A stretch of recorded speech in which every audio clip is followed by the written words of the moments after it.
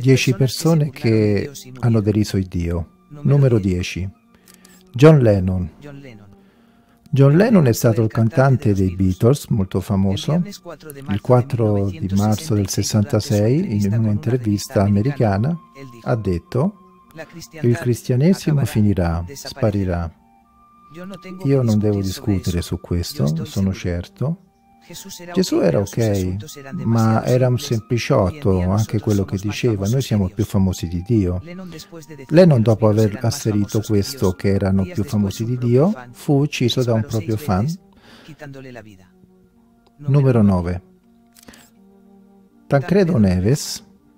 Tancredo Neves è stato un candidato presidenziale del Brasile fra il 1910 e l'85 disse se raggiungo più di 500.000 voti neanche Dio impedirà che io diventi presidente. Bene, riuscì a raggiungerli, ma prima di diventare presidente morì. Numero 8. Thomas Andrew, il creatore del Titanic, nel 1911, dopo la costruzione del Titanic, un giornalista gli chiese che tan sicuro, che che sicuro sarà, è questo, questa nave? Lui ebbe a rispondere nessuno può affondarlo, neanche Dio.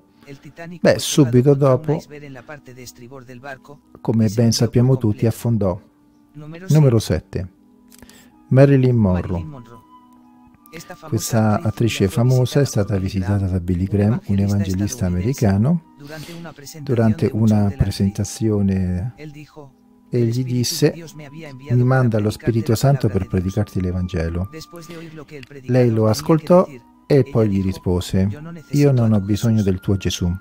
Una settimana dopo, dom- in domenica successiva, è stata trovata morta nel proprio appartamento. Numero 6. Bon Scott, il cantante degli ACDC, in una delle sue canzoni, delle non mi fermare, Dio. Io sto scendendo tutta la strada, sto scendendo verso l'inferno. Subito dopo averlo detto, nel 80, è stato trovato morto, affogato nel proprio vomito. Numero 5. Christine Hewitt è stata una giornalista, animatrice giamaicana molto famosa, ebbe a dire la Bibbia è il peggiore libro che sia mai stato scritto. Nel 2006 è stata trovata bruciata, impossibile da essere riconosciuta. Numero 4.